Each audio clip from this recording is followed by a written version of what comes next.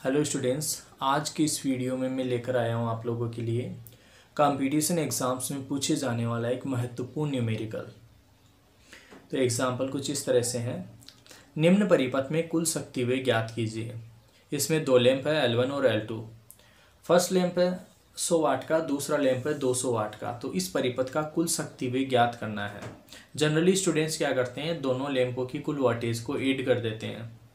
जिससे इसका आंसर प्राप्त होता है थ्री हंड्रेड वाट जो कि इस क्वेश्चन का गलत आंसर होगा। तो चलिए देखते हैं अपन इसको सही तरीके से कैसे अटैम्प करेंगे। तो फ़र्स्ट अपन फाइंड आउट करेंगे लैम्प एल का प्रतिरोध। तो जैसा कि स्टूडेंट्स आपको पता है, प्रतिरोध, किसी भी लैम्प का प्रतिरोध ज्ञात करने के लिए अपन फॉर्मूला लगाते हैं आर बराबर वी स्क्वायर बटे पी तो इससे अपने पास लैम्प एल वन का प्रतिरोध आर वन बराबर दो सौ बीस का स्क्वायर बटे हंड्रेड इज़ इक्वल टू चार सौ चौरासी ओम ठीक इसी प्रकार लैम्प एल टू का प्रतिरोध आएगा अपने पास आर टू बराबर दो सौ बीस का स्क्वायर बटे दो सौ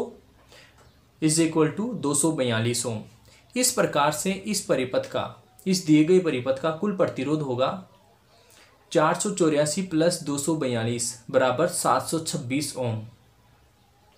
नेक्स्ट अपन अब फाइंड आउट करेंगे इस परिपथ की कुल धारा। तो परिपथ की कुल धारा के लिए आई बराबर वी बटा आर जैसा कि ओम का नियम अपन को बताता है आई बराबर वी बटे आर तो आर यहाँ पे अपन आर टोटल रखेंगे।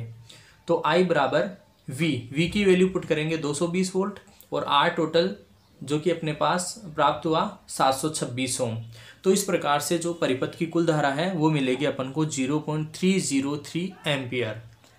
इस प्रकार से अपन कह सकते हैं कि परिपथ की कुल विद्युत शक्ति व्यय जो होगी पी बराबर आई स्क्वायर आर